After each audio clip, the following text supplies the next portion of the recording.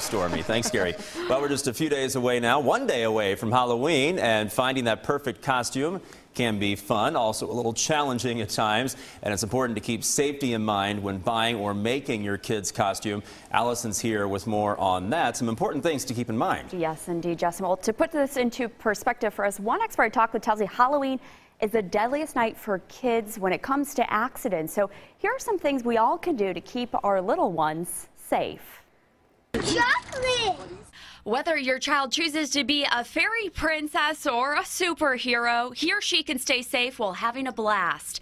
Regina Weir with Safe Kids Coalition tells me it's important to look at the fit of the costume. So that we don't want them too big for the children to, they're going to be so excited and running around. We don't want them to trip and fall.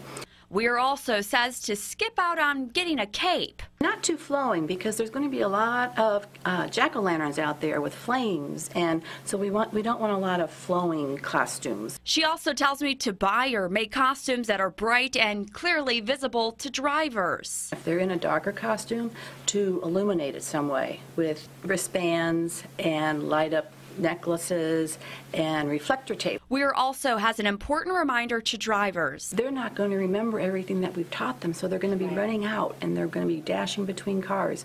And these are things that drivers that we all have to really be cautious of. So as our little trick-or-treaters head out, keep these things in mind to make it a safe Halloween. I posted these safety tips for you online at kshb.com slash now. Now they want us to keep this in mind be safe and, well, be seen. So, Justin, you must leave that cape at home.